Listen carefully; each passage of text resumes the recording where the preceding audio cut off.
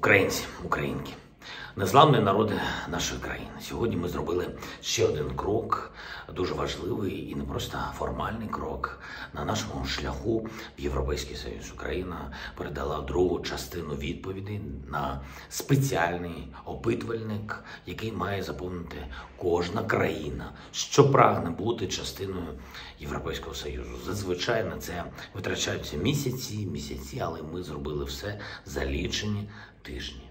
Це документ, який містить а, тисячі сторінок, і саме сьогодні мав а, розмови про нашу європейську інтеграцію із Шарлем Мішелем, президентом Європейської ради, і з Урсулою фон дер Ляйн, президенткою Єврокомісії.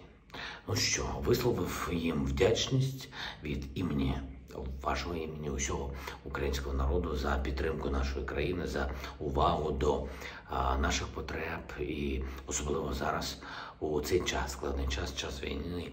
Вони чудово усвідомлюють, що ця війна не тільки за нашу свободу, але й за свободу усіх європейців. Пані Урсула зазначила, що вражена швидкістю, з якою наші урядовці заповнили опитувальник. Я був радий почути від неї, що наша швидкість стимулює Єврокомісію діяти так само швидко.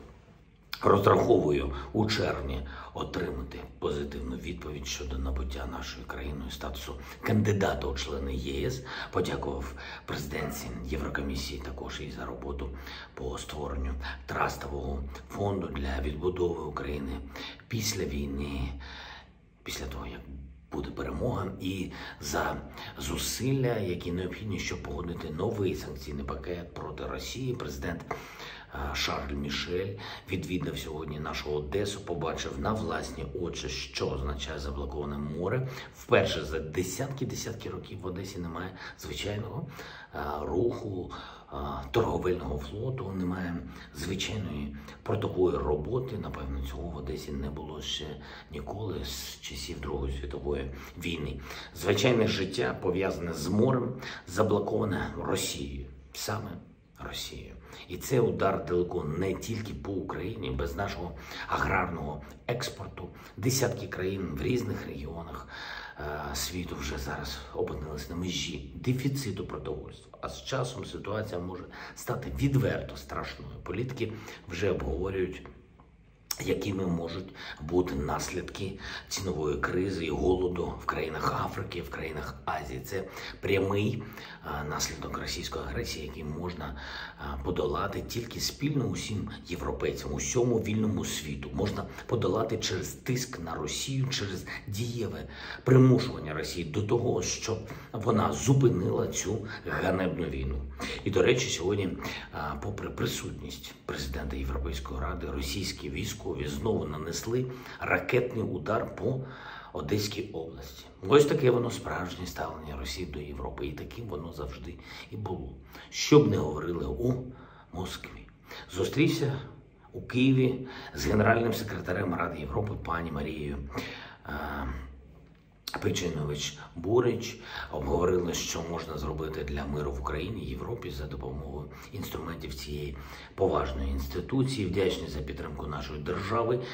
Е, візитом в нашу столицю саме у цей день День Європи і День перемоги над нацизмом.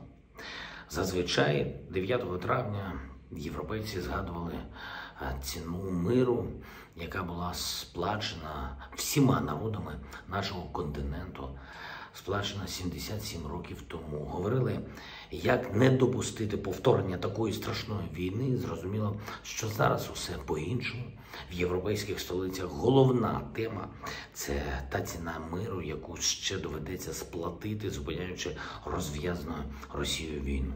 А також ціна для Росії за те, що вона знову знову принесла в Європу зло тотальної війни на знищення нашого народу. Впевнений, зараз це головна тема і у Москві. Там можуть зображати в пропаганді що завгодно, нехай, і робити будь-які політичні заяви. Але, Але реальність вже не змінити. Реальність потребує миру.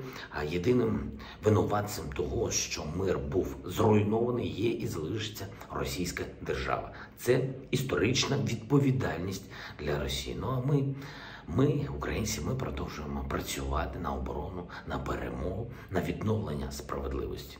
Сьогодні, завтра і будь-який інший день, які потрібні, щоб звільнити Україну від окупантів.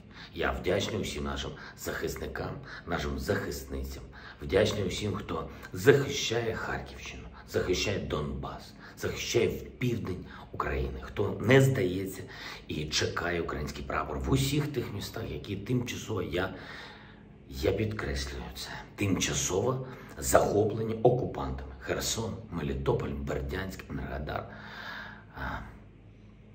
Маріуполь, всі інші міста, всі інші наші громади, український прапор повернеться, бо це наша країна, вільна європейська країна, наша держава. Слава Україні!